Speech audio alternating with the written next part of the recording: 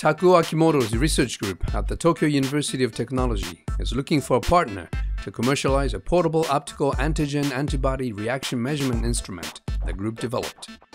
あの鏡面プラズモン共鳴という光の共鳴現象を利用して、まあ、抗原抗体な反応などを測定することが可能なんですけど、まあ、それを利用して、まあ、タンパク質ですとか、まあ、それを利用することで、まあ、がんの使用ですとか、まあ、川の中の環境不純物ですとかそういったものを測定するセンサーを開発しまして今回発表しました。The instrument uses surface plasmon resonance, a phenomenon in which the intensity of reflected light attenuates as the laser incidence angle changes. In order to measure antigen-antibody reactions simply,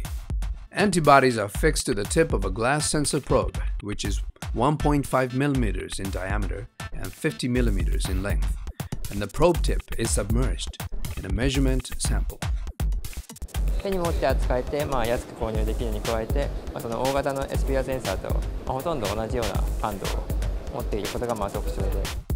sample can be as little as 10 microliters.